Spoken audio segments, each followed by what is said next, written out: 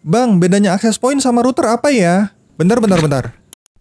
Jadi, access point itu sebuah perangkat yang berfungsi untuk menghubungkan beberapa jenis dengan berjalan yang sama. Dan router adalah sebuah alat yang berfungsi untuk menghentikan paket sebuah network LAN sehingga sekitar buku dan yang berbeda. Woi, bangun woi, lu sih kalau pelajaran tidur mulu. Sini aku jelasin yang lebih gampang. Karena aku nggak sekolah, jadi aku jelasin sesuai yang aku paham aja, pakai analogi keran air. Sebenarnya mode AP dan router ini sama aja, beda dikit-dikit agak banyak. Jadi keseluruhan keran ini berat device-nya dan kerannya ini diberatkan buat nyambungin lewat kabel atau wireless. Karena fungsinya sama, kalau router atau AP buat ngalirin internet, sedangkan keran ini buat ngalirin air. Dan toren air ini kita analogikan sebagai RB-nya. Sampai sini paham ya? Pertama, mode access point. Di mode access point ini ketika ada tiga orang yang mau pakai air, bisa pakai kerannya masing-masing. Keran satu, keran dua, dan keran tiga. Makanya kalau buat voucheran lebih banyak pakai mode AP. Artinya dapat IP yang beda dan masih satu segmen dengan RB. Sedangkan mode router ketika ada orang yang connect sebanyak apa pun orang yang make, dia cuma dideteksi satu keran aja. Jadi si Toren ini cuma tahu kalau yang dipakai itu cuma keran satu, padahal dipakai rame-rame. Mode ini biasanya dipakai untuk klien rumahan. Mau berapapun yang connect ke device, tetap aja yang dideteksi di RB cuma satu device, yaitu routernya aja.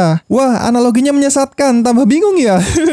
Lihat tabel ini aja deh. Kalau ada penjelasan yang kurang tepat, bisa bantu benerin di kolom komen ya. Semoga bermanfaat dan salam. Oke.